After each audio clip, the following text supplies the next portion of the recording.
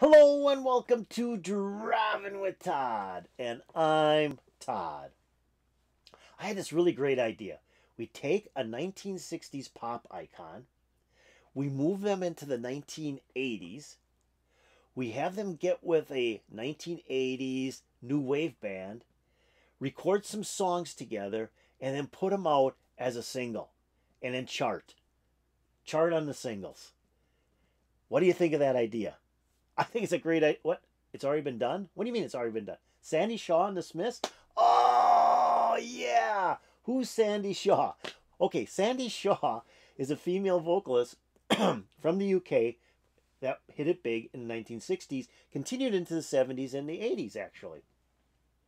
She never made it here in the United States. She had two minor hits in 1964, didn't even break the top 40, and I don't ever remember hearing them on the radio. Just never, ever heard them on the radio, at least in our region here. It wasn't until the 1990s when I was really getting into female vocalists from the UK that I came across Sandie Shaw. And they were reissuing all of her albums with bonus tracks, a lot of compilation albums, you know, BBC track CDs, and I was buying all of them. And, and, and I was really enjoying them. I really, really liked her.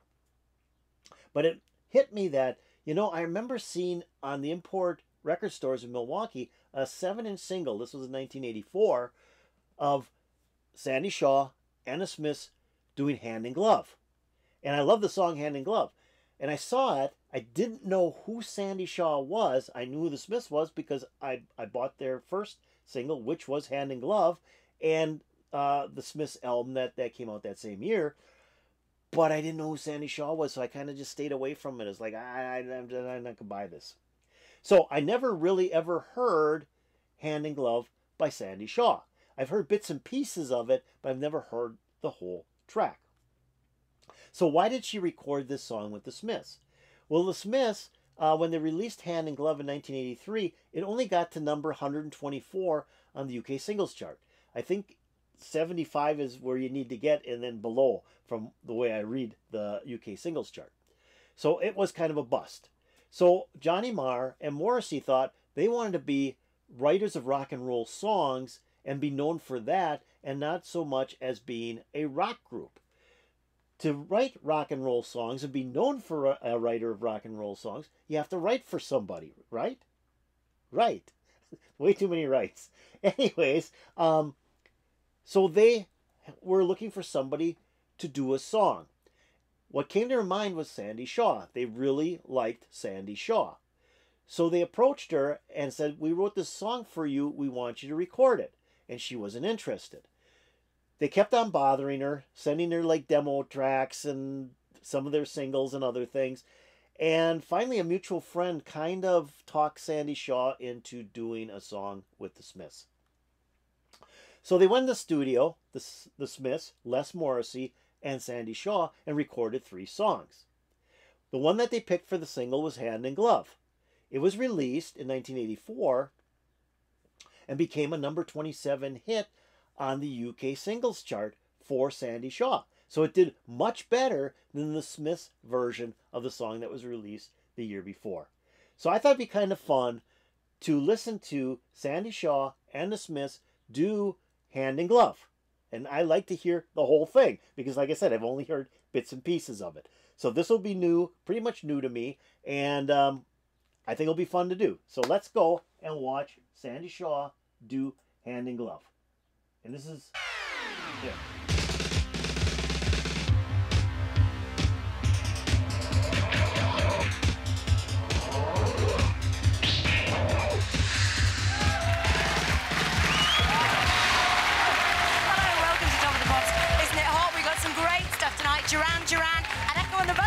And what's more, we're live from Studio 6 at Television Centre, and to prove it, here's Sandie Shaw with the Smiths and Hand in Glove.